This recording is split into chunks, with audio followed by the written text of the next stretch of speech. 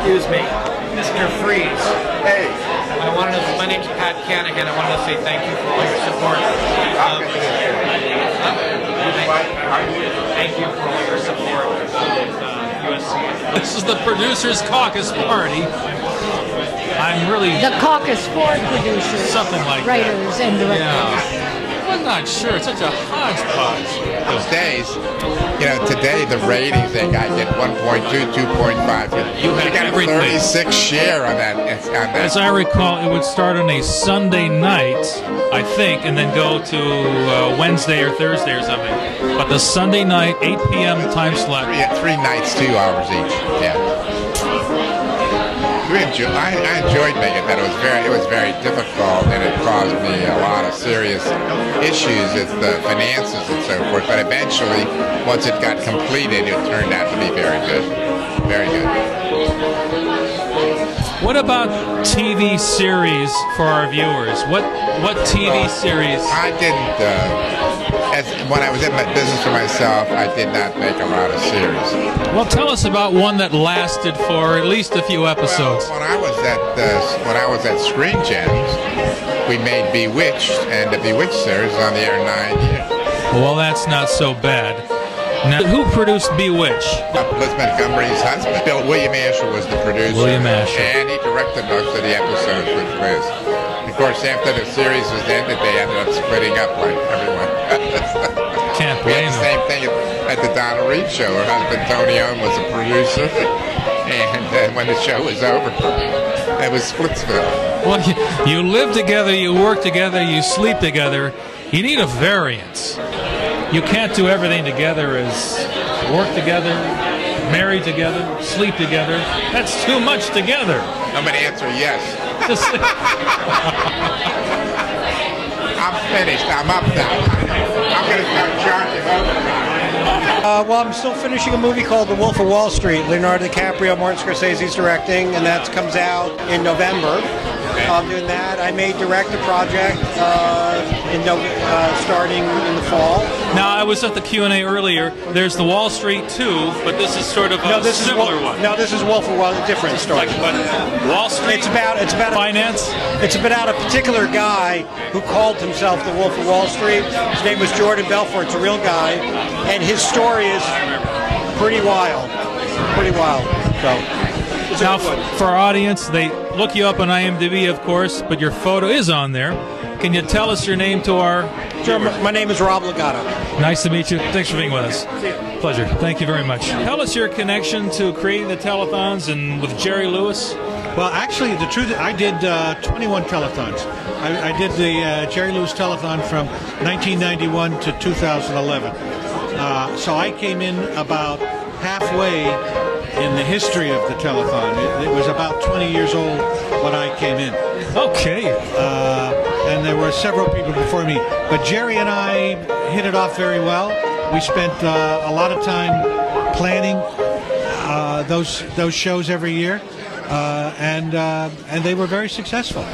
Now, why did you get in the telethon business, and what did you do before that? What kind of television were you what were you doing? Well, uh, most of my uh, my whole career has been uh, live events. I've I've been f- fortunate enough to either as an associate producer or a producer or a director to have done most of the major live event shows on television and musical shows, uh, variety shows, uh, uh, all, all of those live event presentation shows. Now, to our audience out there, I believe you're you're are you Lee Miller? Yeah. This is Lee Miller out there. If you ever want to see who he was behind the scenes, it's nice to meet you. Can you tell us your name and some of the shows besides Scrubs you work on? Uh, Dylan Shadinsky. Uh, I work on NCIS Los Angeles and Cougar Town, as well as Scrubs and some other shows.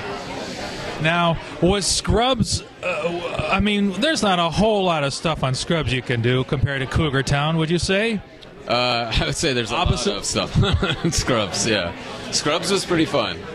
Now, when did you first get started in the visual effects? Uh, 2002.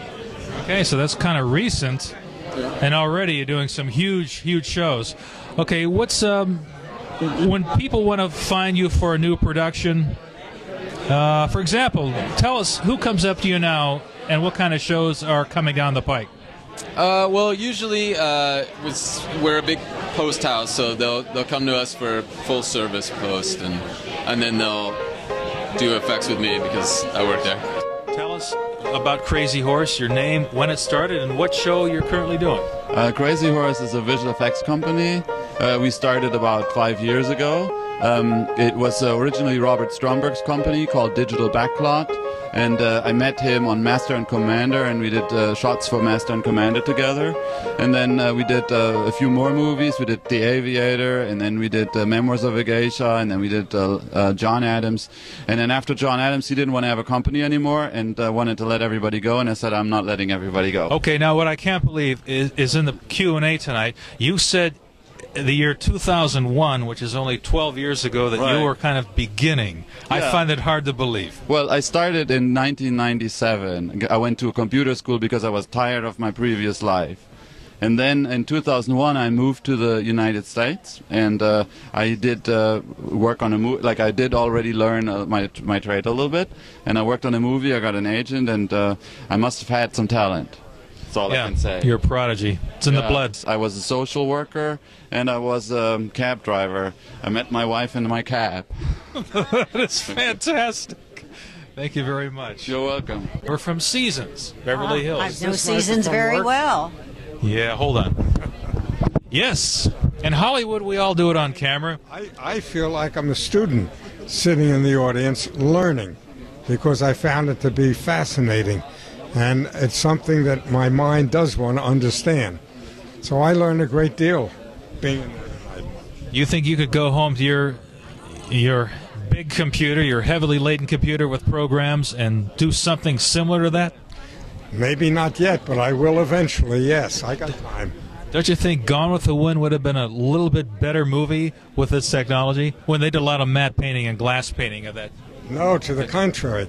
I think a lot of movies that have a lot of the special effects would be better if they had a script like On with the Wind. Very good point. Let's hear about you, James Modern. James Modern, yeah. And um, I was I'm just finishing up a movie, and I was talking about the next one with Paul, and the the panel was terrific. It was really a great great session. Oh yeah, yeah, it was excellent.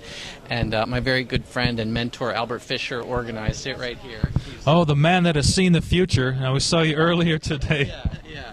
He, uh, while you're living in it. he brought me, and now I've, now I know everything about visual effects. So that's How quickly you're the modern, you're the future, and from old from old I'm like- Berlin or somewhere. Yeah, from Berlin, yeah. from Berlin, Germany. The old days. Well, I'm trying to connect the ba- past and the future Yeah. because uh, I really do think like the the truth is it's art and it's been always there. Like the biggest thing that I've learned are composition, really basic things: storytelling, composition, um, placement, what makes a good shot, and that is completely independent from any softwares. Yeah, that was interesting. Kind of a, a running theme between all of you guys on the stage tonight is the artistic background and the the simple idea. Yeah, Look at the script. it's the eye. It's like the subtext. and look at that, and then go from there, and Yeah. not overblow it with the special effects or the CGI.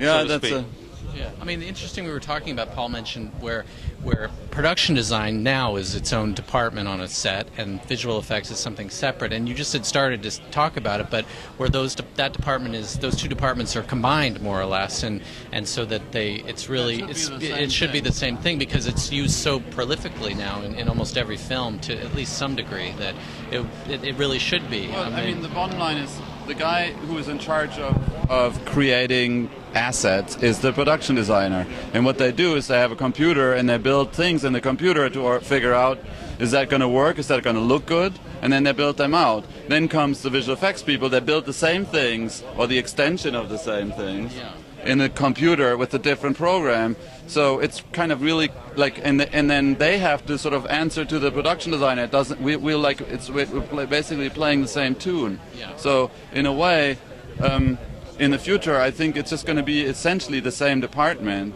and the the visual effects companies is is going to be part of the previous at the beginning. And the production designer is going to be part all the way to the design of the final Yeah. thing because you want to have continuity in your environment. And um, well, what's kind of interesting is that visual effects is sort of like a child of two parents, and one parent is the camera department, and the other parent is the production designer. Now the, the writer and the director really have to become a marriage broker between everyone because it's, it's their creative vision that ultimately is going to bring all of these elements together to mm-hmm. make a cohesive end product. Mm-hmm. You are the future production designers. That will be the name on your shingle, as it Yeah. were. Well- Who's the future? I'm the pastor. Well, I don't. Do you think yes. really?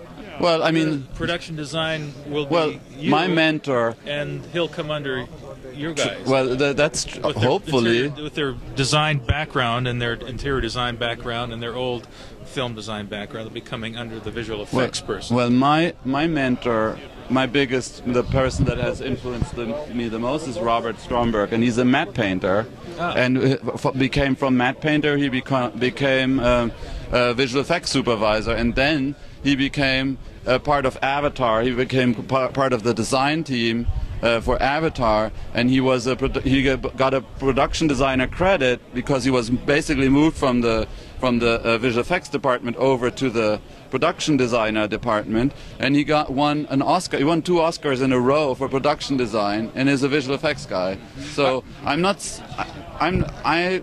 I think there's a reason why production designers have been there all along, and they know what they're talking about. And I work for the production design. Uh, yeah, I work for the production designer, and. Um, and I'm proud to work for them and working with them. Uh, I have no desire to be one r- at this moment, but it's essentially we're doing the same thing. We're working on the same thing, and it blends Well, it together. was also interesting when you when you showed the what the what you had done with the um, Boardwalk Empire, where you where there was there were the extras that had fallen and, and, and Yeah. they were on fire, and you said you put one made one arm move up and down because Yeah. you felt like Yeah. it was. Yeah, no, I was a director. But, but, but Yeah. that's interesting because if you if you come into something early, right in the inception, then you can talk to the director about those kinds of things, and you can talk to the production designer in, for about those kinds of things instead of having to add them later or put them in later as a not necessarily an afterthought, but but No. it would be integral to the to the creation right from the beginning. That's what it's I think just is um.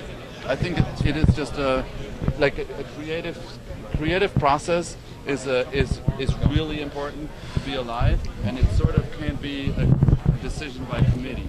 My name is Ramy Katrib. I'm CEO of Digital Film Tree, and currently we're working on a host of shows, including uh, Cougar Town, NCISLA, King and Maxwell, Mistresses, a new show called Surviving Jack, which will be starting up, and a new show called Undateable, and a new show called um, Ground Floor. And you did Scrubs, but that's no longer running. I- I We, we, we did Scrubs the last until season. it ended on the ninth season. Right, right, right. So definitely. You live it long enough here, you you do it in front of the camera. I live in Burbank. You live in um, Burbank. I've been an administrator for the caucus for 30 some years and love working with them. They're great. They do wonderful things, mentoring especially. Now I'd like you to mentor me. And this is going on the air. Okay. Special shot here? Okay, nice.